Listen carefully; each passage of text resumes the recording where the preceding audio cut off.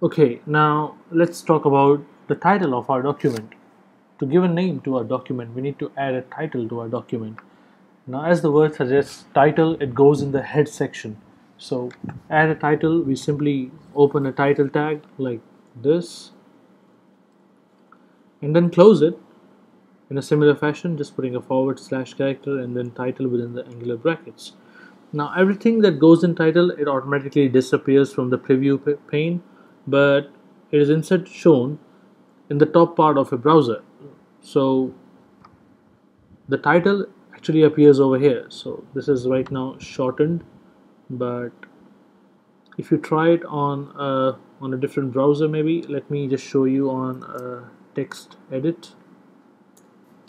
So say for example I put this code snippet in TextEdit and save it as a HTML file and then again save it. Let me test.html now just notice the extension .html HTML documents have extension which is .htm or .html just like Word documents have .doc, Excel documents have .xls and so on. So these documents have .html as the extension to their file name. So we save it and we say use.html this is saved. Let me actually go ahead and open that document over here.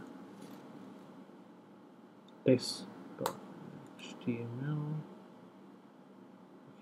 I think it was test.html so here you can see it says I am head.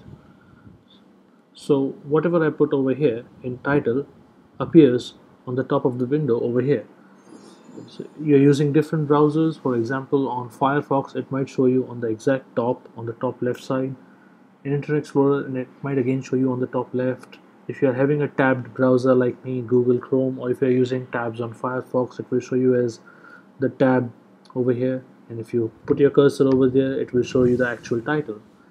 So titles basically act as the title of the window that you are on, title of the web page so title tags let you define titles. Titles go in head tags because this is where the title has to be. By convention not as per me. So now the reason why only what you type in body tag appears in the preview pane is because the body is exactly what the visitors see. So whenever a person lands on your web page, all that is there in the body tags is exactly what the visitors see. Head has the information about your page, but this information is not clearly visible on the page. It is visible such as this manner. Or if a person tries to see the source code just like we saw earlier for codepen.io by simply doing a right click on the page. So if I see the right click if I do a right click on this page and click on view page source it will show me the source of this page which was exactly the code that we typed as you can see over here. So title over here and body over here